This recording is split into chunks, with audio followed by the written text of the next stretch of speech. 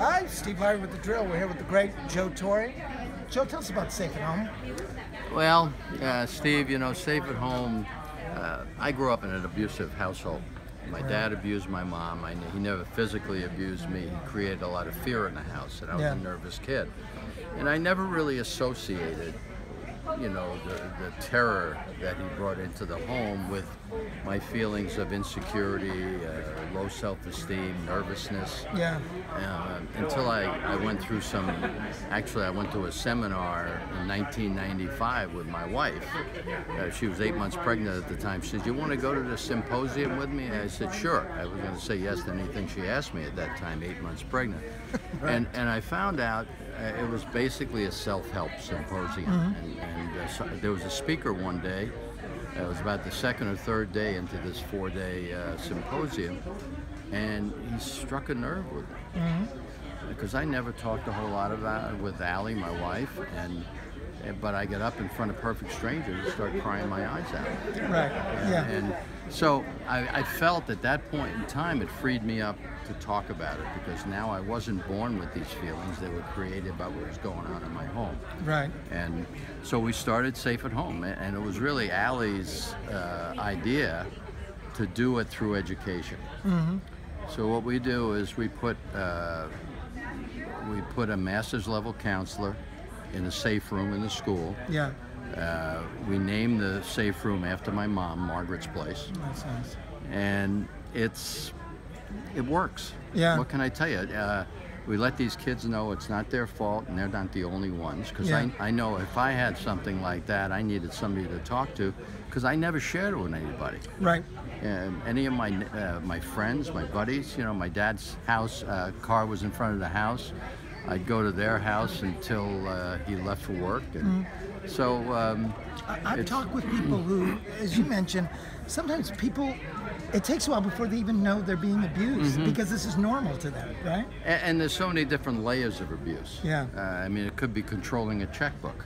Uh, and in my case, it was fear. Even though he never, even though he didn't, he yelled a, a lot and scared me. Yes. Uh, he never physically, you know, uh, Right. injured me in any way.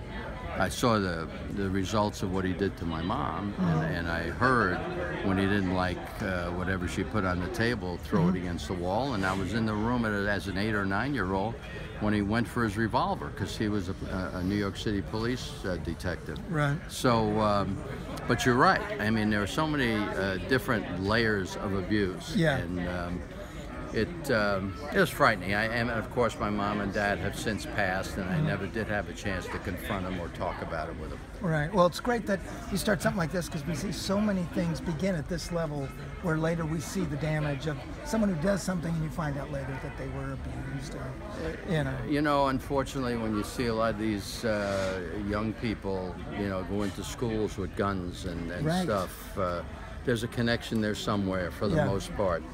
And, and that's why we're trying to, you know, uh, make an impression on these kids. Let these kids know that we care about them Yeah. and what they do and their future. Yeah. And that they'll come out the other end in good shape. Yeah. And, you know, we've had, uh, between here and in New York, uh, we've had better than 75,000 kids come through our program, and, and we know it works, and we're very proud of the work we do. Can I ask you a baseball question? Sure. Um, I don't you- know if I can answer that one, but I'll you, give it you, a shot. you managed a team that really was at the height, I think, of baseball popularity.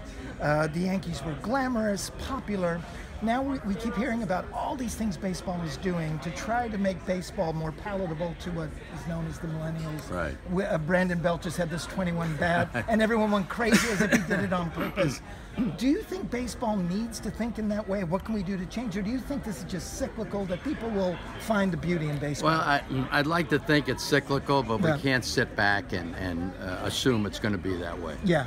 I think we've got to, uh, you know, you say the millennials who, you know, uh, they, they want to be entertained. Right.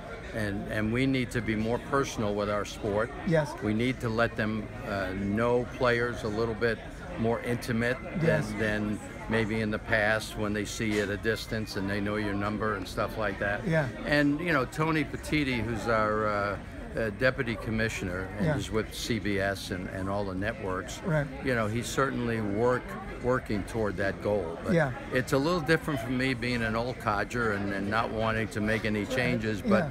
you have to understand that. Right. Uh, you know, I know when David Wells is going to be here tonight, wanted to listen to rock music, you know, hard rock when uh, he was pitching. I, I realized that if it's going to help him, I got to let it go. Right, so, exactly. so you, you sort of have to be understanding of, of what is interesting people Right. and, and try to accommodate them without without disrupting our game. Right. Yeah. Thank you very much. I really appreciate it. Sure.